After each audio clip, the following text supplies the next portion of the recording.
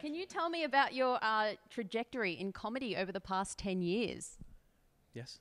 I um. well, I guess I started doing it in um, about 2001. So I'm going to give you 13 years. 13 years. Yeah. Um, and I uh, did a sketch show, and that was all fine. And went to the Edinburgh Festival, and so I guess I started then. Then, uh, buoyed by a little bit of success, I tried my hand at stand up. No, it didn't work out. Did other things for a bit, and then did what I do now, which is kind of poetry. Um, started doing that in 2006, and have been kind of doing that in earnest. That's my sort of live sort of side of things since then. So that's kind of um, developed into what is now my act. I kind of do bits and pieces of comedy elsewhere and work with other people. But my live stuff is now weirdly poetry. What inspired you to take up poetry? Lack of um, any discernible progress as a stand-up. So kind there was no um, grand plan to do to do poetry on stage. It was more a case of killing time on the underground and then not having any other strings to my bow. So I was kind of forced into poetry in a way that a lot of comedians aren't. I, I saw your show last night and I thought your poetry was excellent. Well, thank you very much. You're very welcome. um, have you had any tough gigs in Australia so far?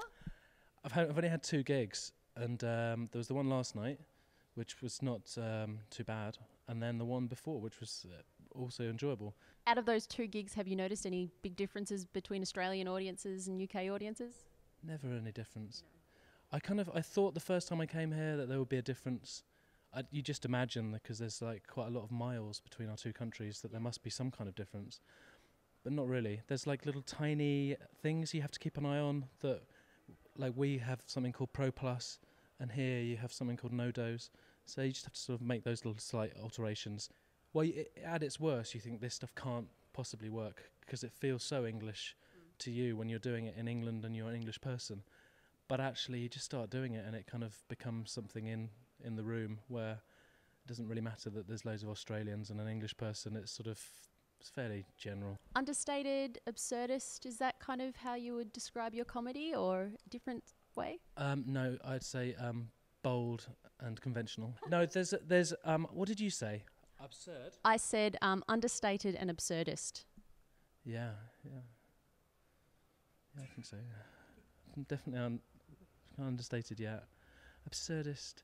Yeah, there's some bits that are absurd. Obviously, there's some stuff which is kind of, um, you know, in and amongst that. There's a little bit of theatricality, and uh, we have like a really nice theatre and really nice lights.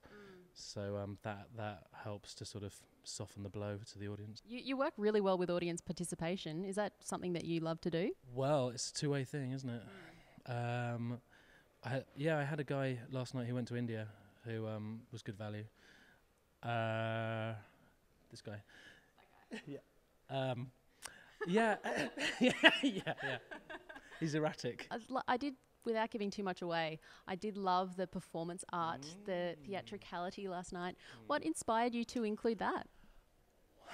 Well, I mean, you're talking about a bed, and um, in my last show, I had a bath on stage, and uh, also I had like the uh, the verb as well. I had a bath on stage, and this time I, there's a bed, and um, same with the bath one. There was just I had an idea, which was really just kind of a, a an image, or a, without wanting to sort of um, analyze overanalyze my show, but I had this thought that I'd like something to happen, and I and I don't want to sort of give away what happens, but then I uh, sort of reverse engineered a few things to make sure that I could have that happen in my show because I thought it would be quite fun for that to happen, and so now the show has that thing happening, and so it's great because I, I I wanted that to happen.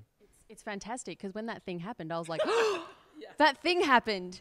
And, Oh, and I can't yeah. give it away No, but because you just have to go and see it. But it's yeah, like, whenever whenever I see it happen, I just think, good. I'm glad that's happened. yeah, the thing that happened. And I think if I was like watching a show and that happened, I think I'd think, good on you, that's happened. Yeah, that's the thing that happened. It was impressive. Yeah, and and I don't, you know, I think it's difficult to sort of, you know, be. Sounds boastful to say that you you, th- you think your stuff is um, funny or whatever, but I think it's cool to say that I'm glad that thing happens. Yeah, absolutely. Like, not many people have that thing happen in their show. Well, I haven't seen many shows yet. I'm seeing one this evening at seven, so I'll look out for it and see if that stuff happens. Okay. I don't think it will. Well, I know the guy socially, and he hasn't mentioned that it happens. Okay.